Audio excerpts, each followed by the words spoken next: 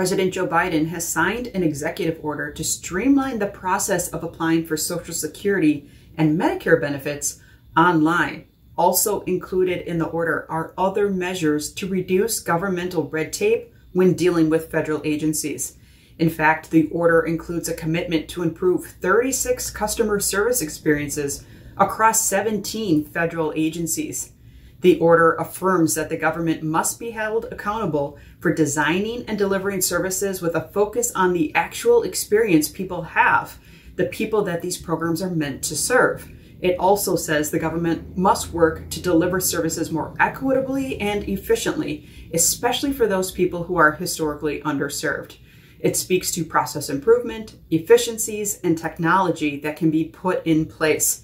As he signed this executive order, President Joe Biden said, We're going to make the government work more effectively for American citizens so it's not as confusing and it's straightforward. The administration commented that the whole idea is to make it easier and simpler for people to access government services and benefits. Most of the changes are expected to take place over the next several months there are some agency specific changes outlined in the executive order.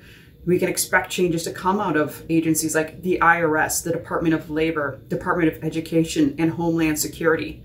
We got some detail on the Department of Agriculture, their food and nutrition services. They said they're going to simplify enrollment and recertification for food assistance programs like SNAP benefits, also called food stamps or food share, and the Women, Infant, and Child program. The Health and Human Services Department said they were going to expand customer support in Medicare, maternal health, and they're going to streamline enrollment and renewal processes. They went as far as to say we're going to support coordination between benefit programs to ensure applicants and beneficiaries in one program are automatically enrolled in other programs that they're eligible for.